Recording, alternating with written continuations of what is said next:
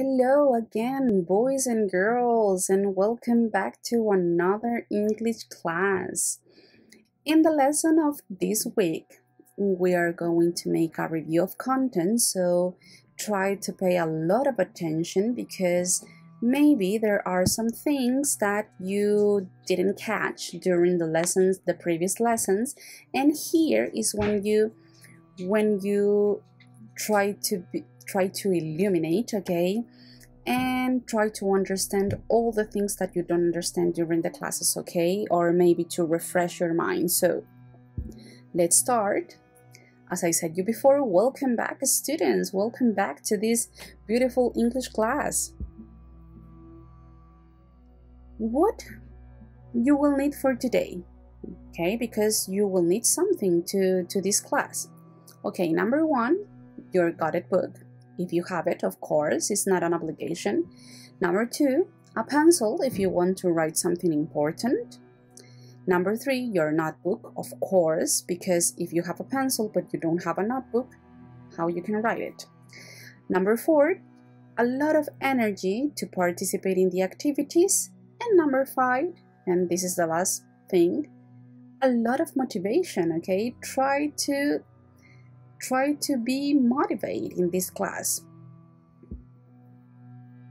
Okay, let's start with the review. This is review of unit number 3, part 2, okay? Let's work a little bit with words. Okay, maybe you're asking what we're going to work, so with what kind of words? Can you remember the words of the weather and the temperature that we learned in this unit? Try to think, try to find that kind of words in your brain, in your memory, because now we're going to remember only the words of temperature. Okay, we're not going to focus on, sorry, we are not going to focus on temperature, we are going to focus on the words of the weather. Okay, sorry for that. So let's begin the weather and the temperature. Here we have some pictures that are going to be very, very helpful for us to understand what are these kind of new words for us. Maybe are not new for you, but because you already work with these words. So here we have the first one that is foggy. Pay attention to the picture because here you have a weather that is called foggy. In Spanish, this will be like cuando hay neblina en un lugar. Okay? Let's go with this other one, raining. And here we have a girl that is enjoying that raining. This in Spanish, it will be lloviendo, lluvia. Okay, let's go with this one. Pay attention. This is the beach, and we have here palms, and the weather here is windy. And this kind of word in Spanish will be ventoso. What this what this is mean? Que, que corre mucho viento. Okay. Let's go with the other one, snowing. And the lady also is enjoying the snow. Uh, what is snowing in Spanish? Nevando, nieve. Okay. Uh, actually, it's nevando instead of nieve. Okay. Then we have cloudy pay attention here, it has to be with the word cloud. So, cloudy means nublado. And finally, sunny, like the candies, sunny. This is soleado, okay, cuando se empieza a hacer calorcito. Okay, I hope that you understand all the words, are only six, are not too many. So now let's continue with the grammar regular verbs, okay? Remember that we're talking about past simple actions, okay?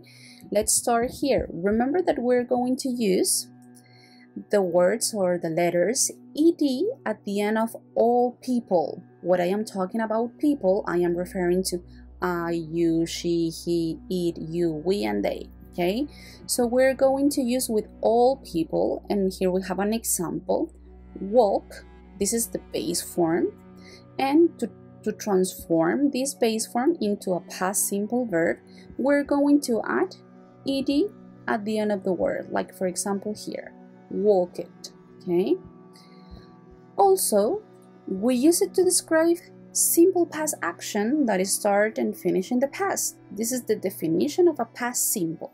Okay, when you want to talk about something that start and finish in the past, you use regular and irregular verbs, okay, to referring that past action. And here, finally, we have something that is called spelling variation, okay? And here you have the rules. We have three rules that are very, very important, okay? Verbs that ending in E, like for example, like, you're not going to put again an E and a D. You're only going to put a D at the end, okay? As you can see here, like, and we put only D. Number two, verbs that ending with a consonant plus Y, change the Y to I and add ed. Let's see the example. Tidy, here you have the y and uh, before the Y, you have a consonant, the letter D. So, what you're going to do? You're going to erase that Y, you're going to put an I and an ed at the end. And finally, number three, short verbs ending in a vowel plus consonant, double the consonant and add ed. Like for example, stop. Stop is a short verb and end in a vowel plus consonant. Eh, we're going to plus double, sorry, the consonant because here we have the vowel and here you have the consonant, so you're going to double the letter P. Stop, stop it. Okay.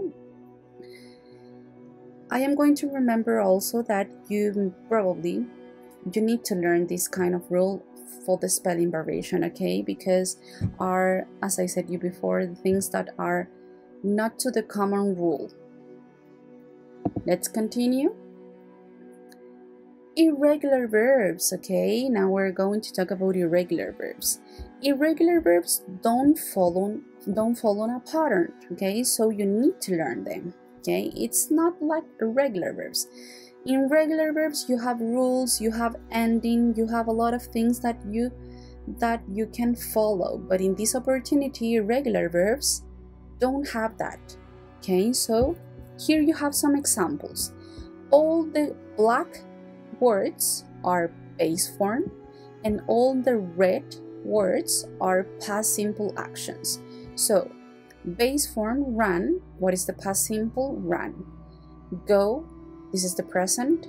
Went. The past. Drink. The present. Drank. The past. Buy. The present or the base form. Past. Bought. Break. Broke. And sit. Sat. Okay. Also remember that you will need to use a list of irregular verbs because in English we have so many irregular verbs and you're not going to learn them maybe in a couple of days or a couple of weeks. It's uh, it's a hard work okay to try to learn with practice a lot of practice uh, these actions. So what do we have here? Let's see the next presentation okay that's it there you have the review of the unit number number three now let's work and the question is, are you ready for the test? Because we have the mission accomplished, okay? And also, level up. We pass all the levels. So remember that you can answer, that you can ask sorry. You can ask all your doubts, all your questions. I am going to be very, very glad to hear and and answer those doubts. So don't be shy. You can say it me uh, you can say it in classes or you can write it if you if you're a shy person. So take care have a great day and see you. Bye bye kids